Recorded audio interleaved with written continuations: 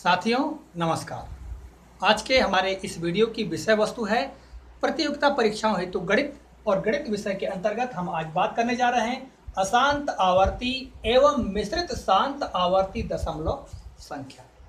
साथियों, इन संख्याओं के अंतर्गत हम आज बात करेंगे अशांत आवर्ती एवं मिश्रित शांत आवर्ती दशमलव संख्या क्या है और दूसरी बात, अशांत आवर्ती दशमलव संख्या की पहचान क्या है। तो आइए साथियों, इन पर हम बात कर लें। देखिए अशांत आवर्ती दशमलव संख्या क्या है? यह देखें कि ऐसी भिन्न ऐसी भिन्न संख्या या परिमेय संख्या जिसे दशमलव में बदलने के लिए जब अंश में हर का भाग दिया जाता है, अर्थात अंश में हम हर का, आपको पता है कि किसी भी भिन्न को या परिमेय संख्या को दशमलव संख्या बदलने के लिए हम क्या करते हैं? उसके अंश में हर का भाग देते हैं। भाग दिया जाता है तो भाग क्रिया समाप्त ही नहीं होती, यानी भाग क्रिया अनवरत रूप से चलते रहती है। भागफल में, दशमलव के बाद में एक अंक या पूरे अंक समूह, यानी कोई एक अंक की या दो चार अंक का एक समूह है, उसकी पुनरावृत्ति या बार बार उसकी आवृत्ति होते चली जाती है और शेष फल में शून्य जो है, वो नहीं आता है। कोई ना कोई अंक आते रहता है। तो ऐसी संख्या को हम अशांत आवर्ती दशमलव संख्या कहते हैं। साथ ही इसको और उदाहरण समझ लें हम।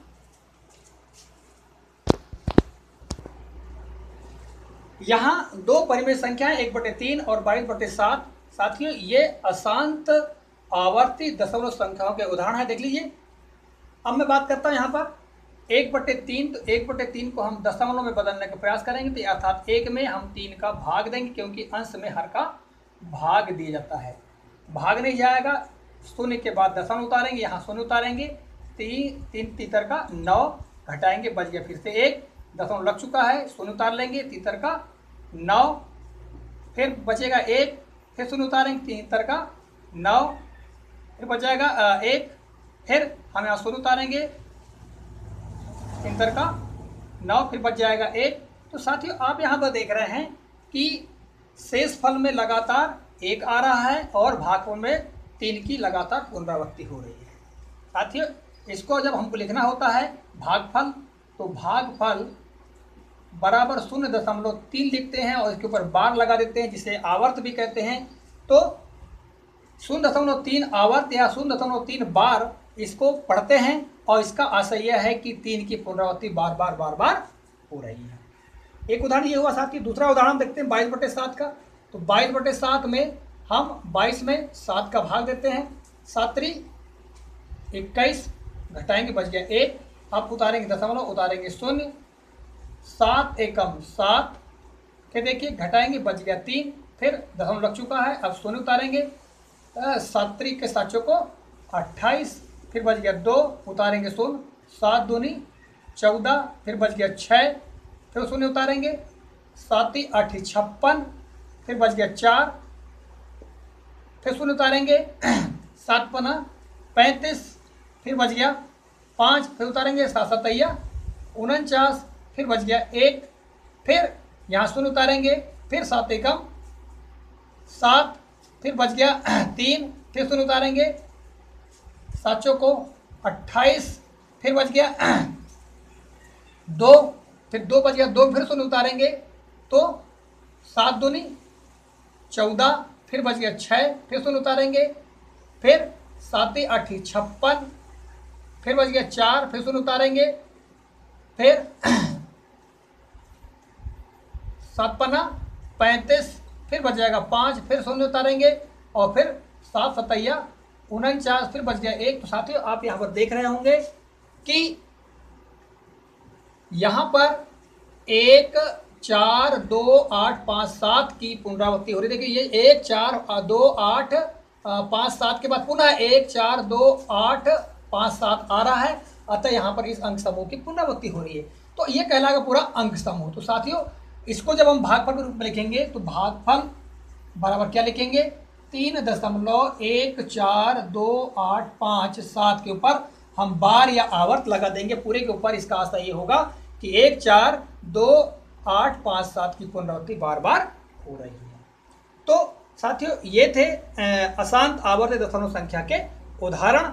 अब हम बात करते हैं मिश्रित शांत आवर्ती दशमलव संख्या क्या है? यहाँ देखेंगे मिश्रित शांत आवर्ती दशमलव संख्या, जिस भिन्न या परिमेय संख्या जिसे कि हमें दशमलव संख्या में बदलना होता है, उसके अंश में हर का भाग दिया जाता है। तो तो दशमलव बिंदु के बाद कम से कम एक अंक ऐसा होता है जिसकी पुनरावृत्ति नहीं हो रही है। और उसके बाद के अंकों की पुनरावृत्ति होती हो तो ऐसी संख्याओं को मिश्रित शांत आवर्ती दशमलव संख्या मिश्रित शांत आवर्ती दशमलव संख्या कहा जाता है। साथियों, कहने का आशय यह है कि जब भी ऐसी कोई परिमेय संख्या या भिन्न संख्या जिसको दशमलव बदलने, बदलते हैं तो भाग क्रिया जब प्रारंभ होती है तो दशमलव के बाद में कोई एक अंक ऐसा आता है जिसकी पुनरावृत्ति नहीं होती, उसके बाद के अंकों की पुनरावृत्ति होती है। तो ऐसी दशमलव संख्या को मिश्रित शांत आवर्ती दशमलव संख्या कहते हैं। आइए इसको उदाहरण समझ लें।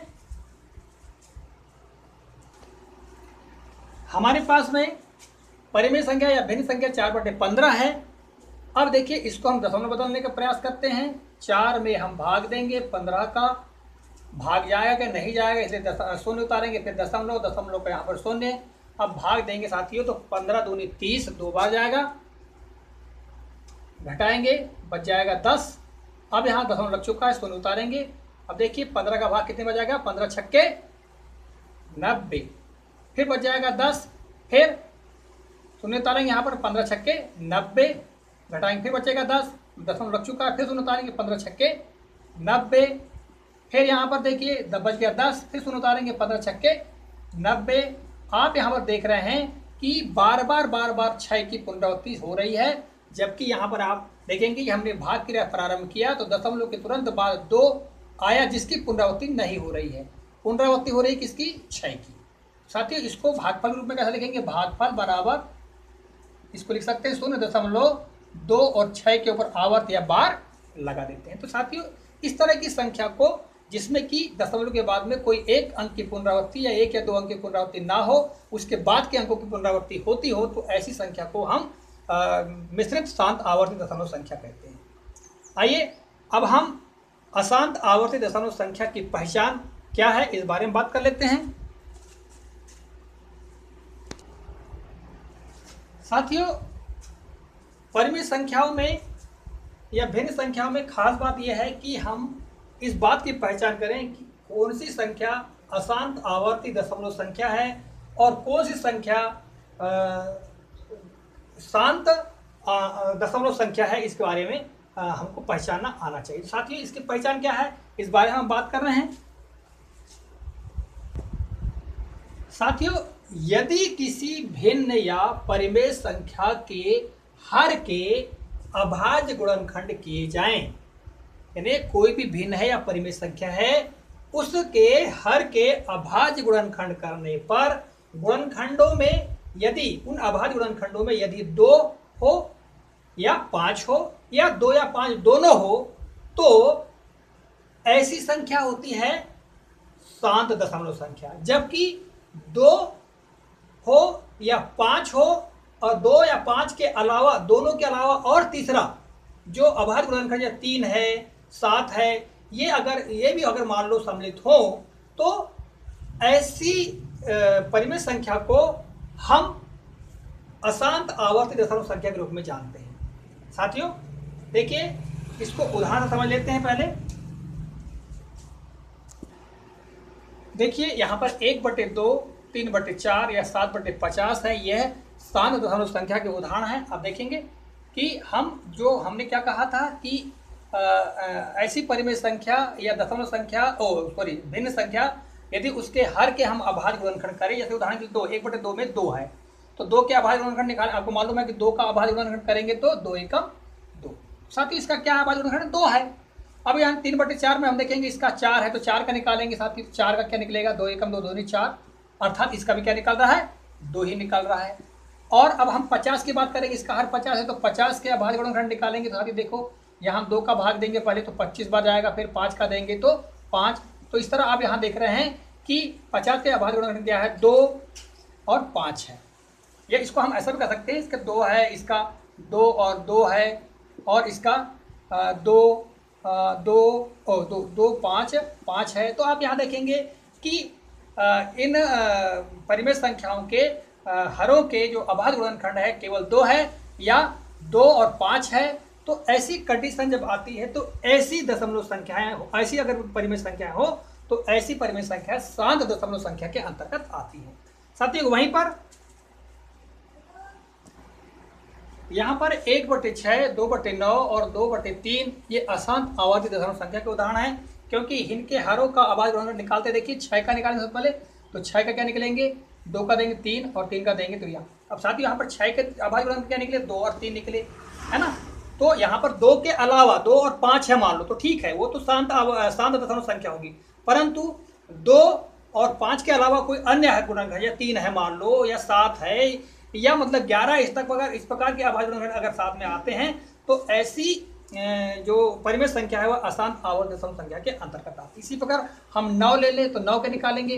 तो नौ में तीन का तीतर का नौ। अर्थात साथियों यहाँ पर देखेंगे, नौ के क्या निकलेंगे? तीन गुणा तीन, अर्थात तीन निकला मतलब साथियों यहाँ पर। तो यहाँ पर यह भी क्या है? अशांत आवर्त दशमलव संख्या उदाहरण इसी प्रकार यहाँ पर तीन है तो तीन का तो आपको मालूम है कि तीन का आवाज़ गुणनखंड तीन ही निकलेगा।